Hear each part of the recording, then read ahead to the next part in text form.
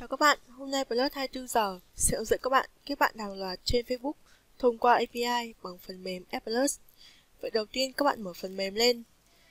Đăng nhập vào phần mềm để có thể sử dụng các chức năng ở trong App Có hai cách để bạn có thể đăng nhập. Cách đầu tiên là bạn có thể nhập email, số điện thoại và mật khẩu giống như đăng nhập trên Facebook bình thường.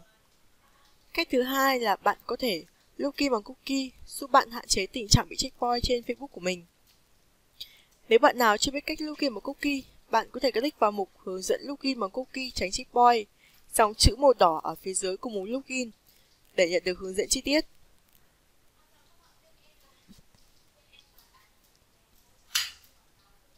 Bây giờ thì mình sẽ login bằng cookie vào trong phần mềm App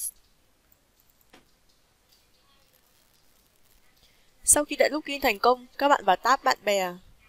Click vào chọn mục kết bạn từ UID gợi ý nếu các bạn muốn kết bạn hàng loạt trên Facebook thông qua API, thì các bạn tích vào mục API, nằm ở góc phía bên phải của phần mềm.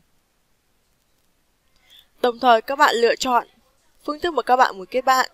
Ví dụ các bạn có thể kết bạn từ UID, kết bạn theo gợi ý của Facebook, hay kết bạn theo gợi ý của Facebook nhưng không check. Kết bạn theo bạn của bạn và vị trí, hay là kết bạn theo gợi ý vị trí.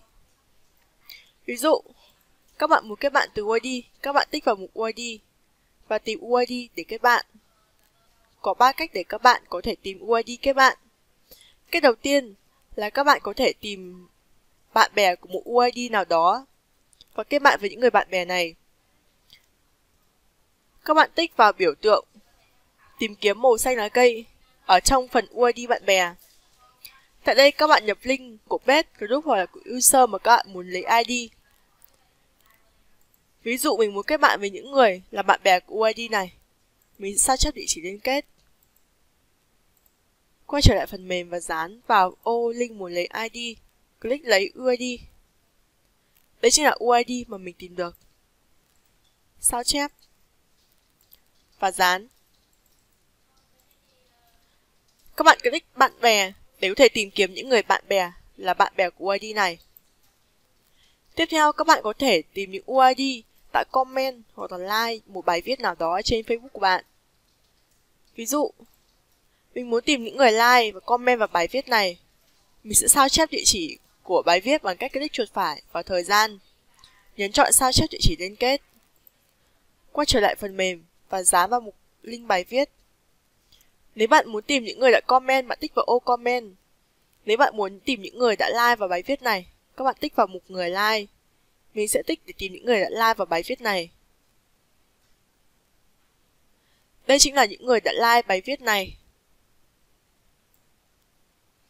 Các bạn có thể lưu kết quả mà mình tìm được ra file CSV để có thể sử dụng trong những lần sau.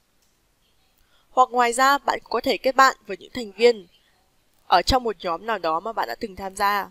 Ở trong một nhóm ở đây, các bạn tích vào biểu tượng mũi tên xuống phía dưới và chọn nhóm mà bạn muốn kết bạn với những người là thành viên ở trong nhóm này. Click tìm UID hoặc tìm nhanh để tìm ra những người là thành viên ở trong nhóm. Đây chính là những người là thành viên của nhóm mà mình đã tham gia. Nếu bạn đã có sẵn một file UID gồm những thành viên mà bạn muốn kết bạn, thì bạn có thể click mở danh sách UID và tải file UID chứa bạn bè lên trên F+. Để tải file UID, muốn kết bạn lên trên F+.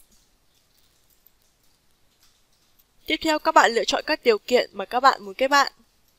Ví dụ các bạn có thể lựa chọn điều kiện về giới tính, nam hoặc là nữ, số lượng bạn bè của người này lớn hơn bao nhiêu và nhỏ hơn bao nhiêu, số lượng bạn chung, khoảng cách, địa chỉ, số lượng bài đăng.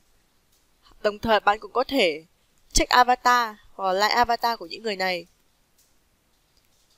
Bạn lựa chọn tổng số người mà bạn muốn gửi yêu cầu kết bạn. Ví dụ, mình sẽ để là 20.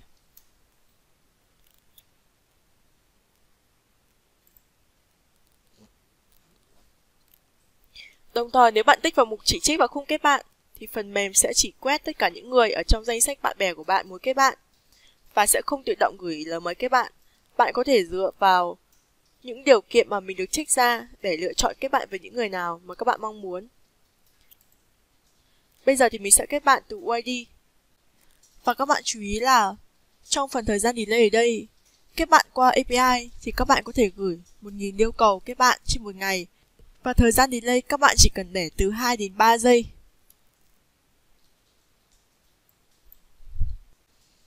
Sau đó các bạn click bắt đầu.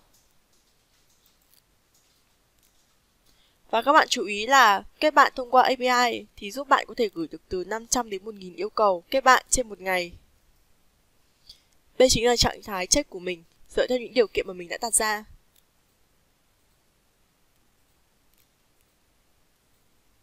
Bạn có thể dựa theo những điều kiện mà mình đã đặt ra ở đây và tình trạng check được để có thể xem kết bạn với những người nào mà bạn mong muốn.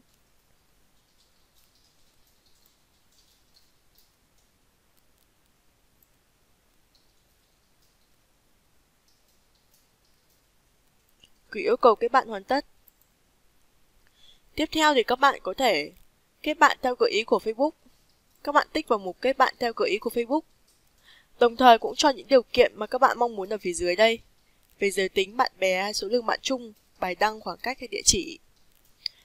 Bạn có thể tích vào mục chỉ check và không kết bạn thì sẽ check những người được gợi ý từ Facebook để kiểm tra điều kiện phía trên. Mình sẽ click bắt đầu. Đây chính là danh sách bạn bè được gợi ý cho mình ở trên Facebook. Và tình trạng check được sẽ được hiện ở trong một trạng thái. Nếu bạn tích vào mục kết bạn theo gợi ý của Facebook nhưng mà không check, thì bạn sẽ tự động kết bạn với những người bạn được gợi ý ở trên Facebook của mình và sẽ không cần phải check qua những điều kiện này. Bạn có thể kết bạn theo bạn của bạn và vị trí bằng cách tích vào mục kết bạn theo bạn của bạn và vị trí click vào mục UID và bạn nhập danh sách những UID bạn bè của mình mà bạn muốn kết bạn theo vị trí của bạn bè mình. Ví dụ ở đây mình có một danh sách, mình sẽ sao chép và dán vào UID này. Click xác nhận. Chọn các điều kiện bạn bè, click bắt đầu. Phần mềm sẽ check tất cả những người bạn là bạn của bạn theo những vị trí mà bạn lựa chọn. Mình để là Hà Nội thì nó sẽ trích ở Hà Nội.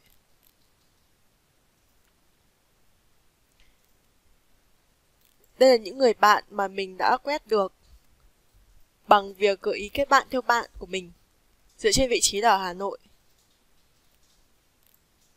Nếu bạn muốn kết bạn theo gợi ý vị trí của mình, bạn tích vào mục kết bạn theo gợi ý vị trí.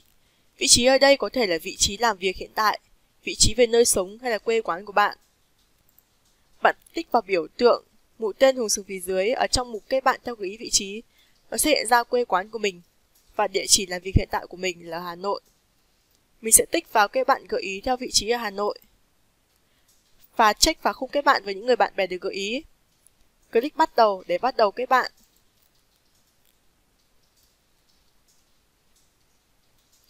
Đây là những người bạn bè được gợi ý để kết bạn cho mình theo vị trí ở Hà Nội. Vì yêu cầu các bạn hoàn tất,